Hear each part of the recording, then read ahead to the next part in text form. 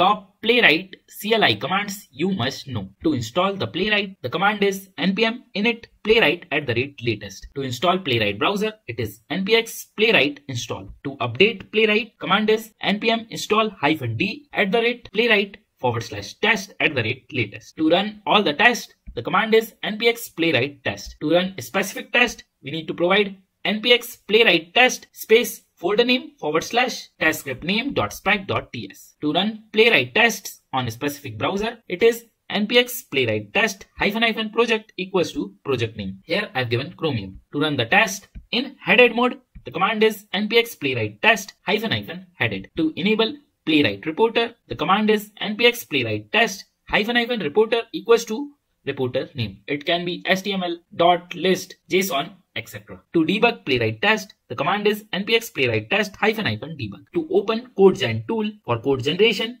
it is npx playwright CodeGen. To record playwright trace, command is npx playwright test hyphen hyphen trace equals to on. To get in-depth knowledge about such CLI commands, click onto the below videos link. So these are